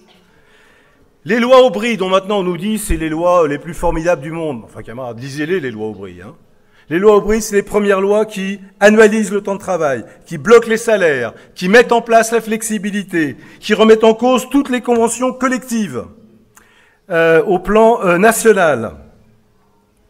Dans le gouvernement euh, Jospin Chirac, on trouve le ministre Kouchner, qui fait adopter en mars 98 une loi qui vise à remettre en cause tous les services d'urgence dans les hôpitaux, qui fait fermer des dizaines de maternités, ça s'est poursuivi après, euh, Christelle en a parlé, des hôpitaux entiers. On entame la privatisation de la Poste, du Crédit Lyonnais, de CIC, de Thomson CSF. La Yougoslavie est bombardée par les troupes de l'OTAN. Les troupes françaises envoyées par Chirac et Jospin participent au massacre des peuples de euh, la Yougoslavie. J'en passe et des meilleurs. Alors oui, on s'en est bien sorti. Tout dépend qui est le on. On s'en est bien sorti, c'est-à-dire que s'il s'agissait finalement que ce gouvernement de gauche et de droite mêlés fasse ce que les capitalistes attendent de lui, ah, ils s'en sont bien sortis. Mais donc la question qui se pose, c'est et si demain il y a un gouvernement Macron-Mélenchon, est-ce qu'il fera la même chose ou pas? Moi, je ne fais pas de procès d'intention. Peut-être qu'il ne fera pas la même chose. Mais enfin, la question est posée, surtout quand on se réclame de Jospin. Mais par contre, la NUPES a enfin produit son programme. Vous savez, il y a eu, ça a mis beaucoup de temps, mais avant-hier, euh, heureusement, la nouvelle Union populaire a présenté son programme. C'est un programme bizarre. Hein je dis pas qu'il faut accorder une grande importance au programme. Enfin, puisque les gens vous disent, voilà, voilà notre programme, on est des gens sérieux, on va gouverner, on a 650 propositions. Bon. Alors, par exemple, il y a des textes qui sont, où ils sont d'accord entre eux, et d'autres où ils expriment ce qu'ils appellent des nuances. Bon, ça peut se comprendre.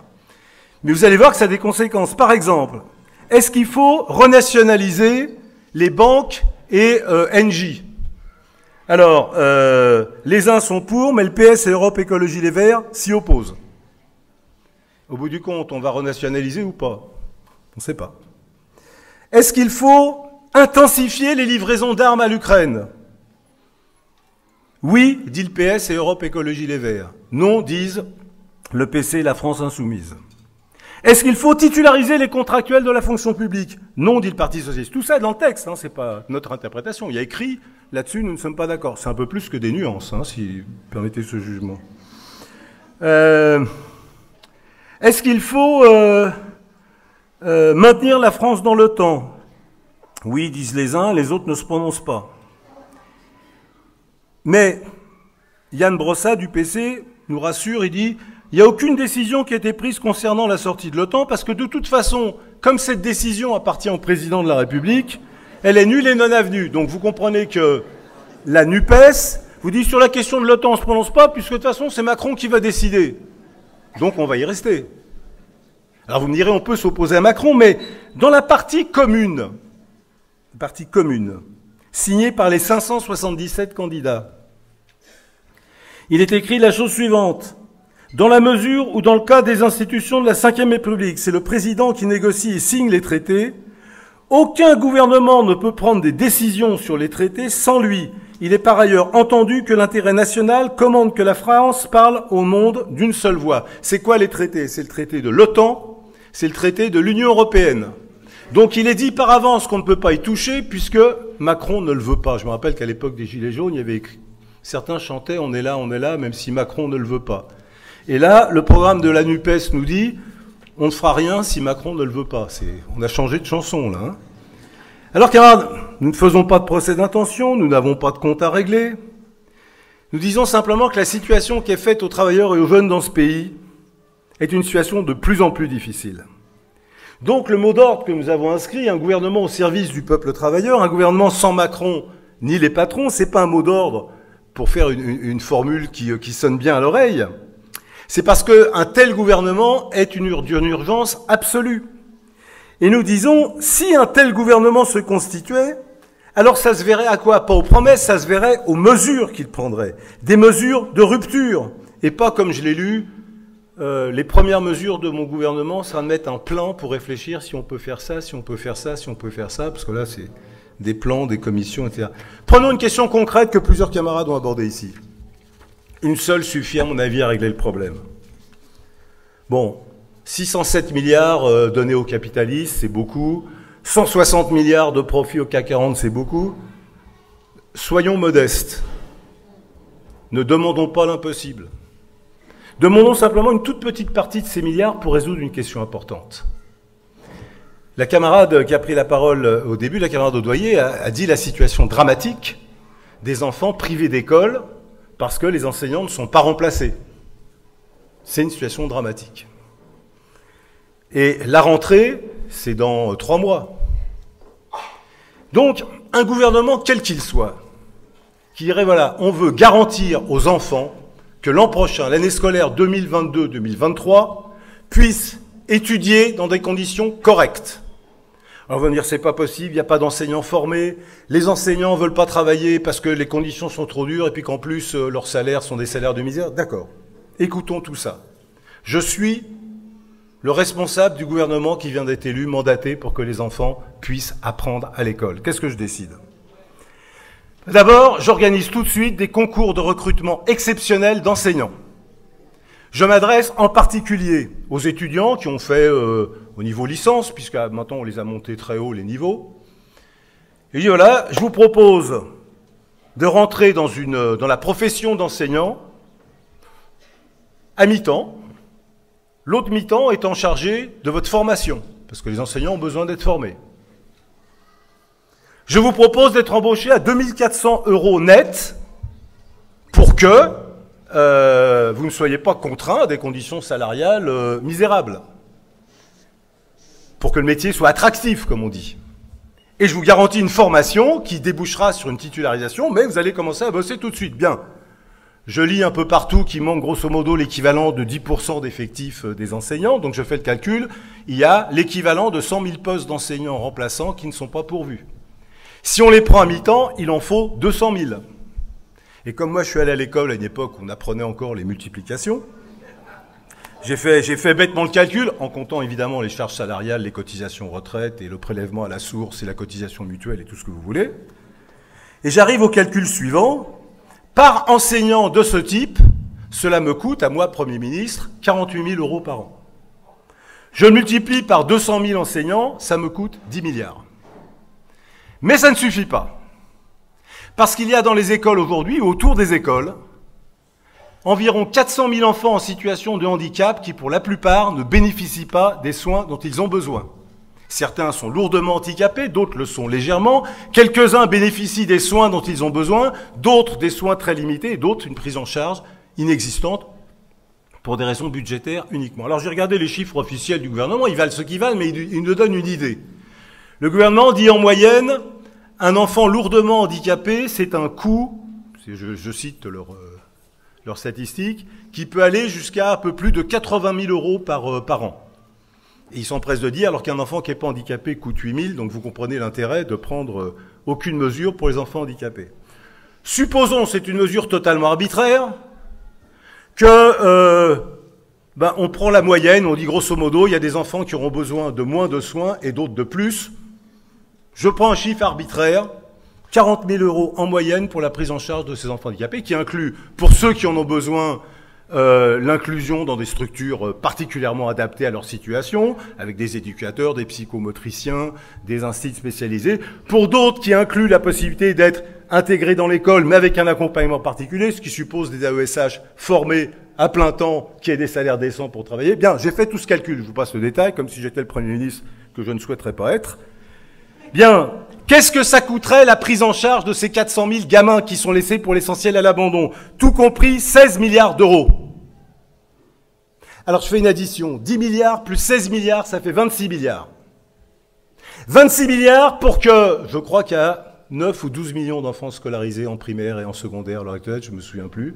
C'est de cet ordre-là, enfin c'est grosso modo 10 euh, millions de mômes, enfin de mômes, des mômes ou des adolescents, vous comprenez ce que je veux dire incluant les enfants en situation de handicap, pris en charge dans des conditions correctes, dignes d'un État civilisé, avec des enseignants qui sont disponibles pour leur apprendre, des remplaçants disponibles pour pas laisser les mômes à l'abandon quand euh, une mère, une femme part en congé maternité ou quand un enseignant tombe malade ou peu importe, avec euh, les matières pourvues, avec une continuité scolaire, avec des programmes qui peuvent être faits, avec une prise en charge adaptée de la jeune génération. Qu'est-ce que ça coûte 26 milliards d'euros quand on en donne 607 aux patrons en deux ans?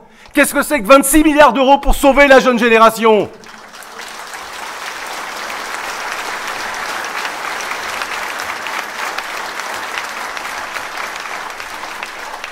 Eh bien, pour l'instant, camarades, ce programme, je ne l'ai lu nulle part. J'ai lu des tas de choses sur... Non, Là, je parle de la rentrée de septembre 2022. Je m'adresse à ceux qui disent on va être majoritaire, on va prendre le gouvernement. Très bien, prenez le gouvernement. Allez-y. Mais prenez-les pour prendre les mesures qu'attend la population. Prenez-les pour dire on va pas confisquer les 607 milliards, mais on va confisquer les 26 milliards qui vont sauver la jeune génération. Et aussi les quelques milliards de mémordes qui vont permettre de rétablir le système de santé et aussi, bien évidemment, ce qui est nécessaire pour l'université ou pour permettre aux jeunes un vrai travail, un vrai salaire. J'affirme ici, on peut le démontrer, que permet de résoudre cette question de l'école, cette question des hôpitaux, la question de l'université, et y compris permettre aux jeunes d'avoir un vrai travail, un vrai salaire, ne coûterait pas plus que 10% des 607 milliards et des 160 milliards que les capitalistes ont engrangés pendant un an. Qui peut prétendre être un gouvernement du peuple et ne pas s'engager à ces mesures minimum Donc, camarades, la question n'est pas de savoir s'il y a de l'argent, il y a de l'argent. Ce pays est riche. Le produit intérieur brut de ce pays est de l'ordre de 3500 milliards d'euros par an. Vous n'arrivez pas à vous imaginer ce que ça représente, moi non plus, mais ça fait beaucoup. Ça fait beaucoup plus qu'il n'est nécessaire. Les capitalistes font des profits mirifiques et l'État leur donne de l'argent foison. Donc la question n'est pas de savoir s'il y a de l'argent. La seule question, c'est quel gouvernement aura l'audace, la détermination, la volonté de répondre à cette attente de la majorité, quitte à s'engager sur la voie de la rupture. On nous dit Mélenchon, mais nous répondons pourquoi pas Chiche. Nous n'avons rien contre Mélenchon, nous ne réglons pas de compte particulier avec lui. Il a reçu euh, près du million de voix à l'élection présidentielle, donc indiscutablement, il a reçu une certaine forme de mandat. Il y a des millions de gens qui ont dit on vote pour Mélenchon parce qu'on attend de lui euh, qu'il fasse pas pareil que Macron, qu'il fasse une politique en faveur du peuple. Bien. Eh bien, qu'il le fasse. Qu'il le fasse. Et dans ce cas-là, il faut le dire ouvertement. Il ne faut pas dire, comme il le fait, avec Macron, on va s'arranger, tout va bien se passer. Il ne peut pas dire, euh, la cohabitation, tout ça va aller très très bien. Il faut le dire ouvertement. On ne peut pas être à la fois pour la cohabitation et pour la rupture. Il faut dire comment les choses vont se passer. On ne peut pas dire, comme il le fait à l'heure actuelle, ce sera un quinquennat tranquille. Non, camarades, de deux choses l'une. Ou bien il y a un gouvernement sans Macron ni patron qui prend les mesures qu'attend le peuple, qui prend l'argent là où il est et qui s'appuie sur la mobilisation de millions. Ou bien il y a un gouvernement qui, comme le gouvernement Jospin-Chirac, explique pour des tas de raisons qu'il ne peut pas faire autrement, ou comme Madame Aubry, ou comme le président du conseil départemental de Seine-Saint-Denis, excusez-moi, ça me fait mal au cœur, mais je suis obligé de frapper les ouvriers. Mais c'est ou bien l'un ou bien l'autre. Si Mélenchon ou d'autres s'engagent sur cette voie, nous, POID, nous leur promettons notre soutien. Allez-y. Si vous êtes prêts à faire un gouvernement, mais donnons-lui son nom à ce gouvernement, pas avec les Verts, qui sont un parti bourgeois réactionnaire, pas avec les différents macronistes qui sont euh, recyclés euh, mélenchonistes, vous en avez vu quelques-uns dans euh, la tribune des travailleurs. Mais s'il s'agit de faire un gouvernement Mélenchon, Roussel, fort, sans patron ni Macron pour la rupture, nous le soutiendrons s'il prend les mesures effectives de défense du peuple. Nous sommes prêts, à condition que ce soit un gouvernement de la majorité. Parce que nous n'avons pas d'intérêt distinct du peuple travailleur. Est-ce que cette hypothèse est la plus probable? Non. C'est pas la plus probable. D'abord parce que euh, ces gens-là revendiquent un gouvernement avec Macron, parce que leur programme est ce qu'il est, parce que les institutions de la Ve République, cela étant, c'est une hypothèse qu'on ne peut pas écarter. Et pour nous, cette hypothèse serait éminemment favorable. Mais il faut bien comprendre une chose, quoi qu'il se passe dans ces élections, le principal problème qu'il va falloir résoudre, ce n'est pas le nom du Premier ministre.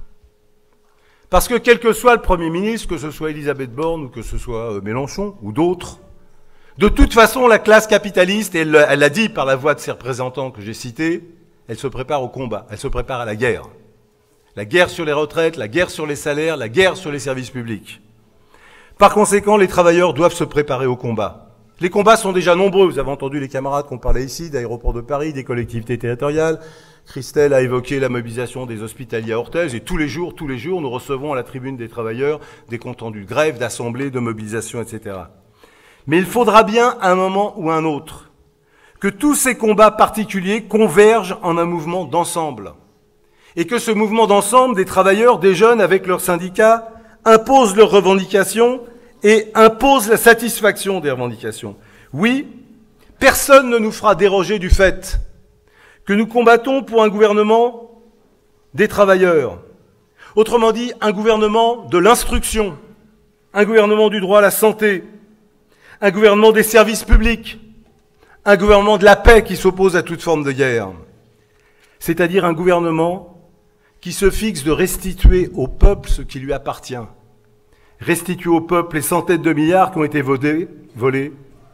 Restituer au peuple le pouvoir de décider, donc liquider la Ve République, convoquer l'Assemblée constituante souveraine, restituer au peuple le droit de s'allier avec tous les peuples d'Europe à égalité et non pas dans le carcan de l'Union européenne. Répétons-le. Ou bien ils aggraveront le pillage et l'exploitation de la classe ouvrière, ou bien la classe ouvrière commencera à reprendre ce qui lui appartient. Mais rien n'a jamais été acquis, ni dans ce pays, ni dans d'autres, par le seul miracle d'une élection, qu'elle soit présidentielle ou législative. Rien n'a jamais été acquis autrement que par la mobilisation de millions et de millions. Voilà pourquoi, engagés dans les combats qui ont été euh, évoqués ici, présentant nos candidats aux élections législatives, formulant la nécessité d'un gouvernement de la majorité, c'est-à-dire de ceux qui travaillent, un gouvernement de la majorité du pays qui travaille, non pas de la minorité qui exploite, formulant ces propositions, nous sommes conscients que nous n'avons rien à promettre. Nous ne pouvons promettre ni des lendemains qui chantent, ni des euh, je ne sais quelles réalisations gouvernementales auxquelles nous procéderions en claquant des doigts. Nous n'avons à promettre qu'une seule chose faire tout ce qui est en notre possible pour aider à l'organisation de la lutte de la classe ouvrière et de la jeunesse. Faire tout ce qui est en notre possible pour aider les travailleurs et les jeunes à comprendre la situation et à s'organiser pour le combat. Nous n'avons rien d'autre à proposer que le combat, rien d'autre à proposer que l'organisation, mais finalement c'est l'essentiel. Alors concentrons-nous sur l'essentiel, l'organisation des travailleurs pour leur propre émancipation, l'organisation de la jeune génération pour sa propre libération. Concentrons-nous sur l'essentiel, organisez-vous, organisons-nous. Merci.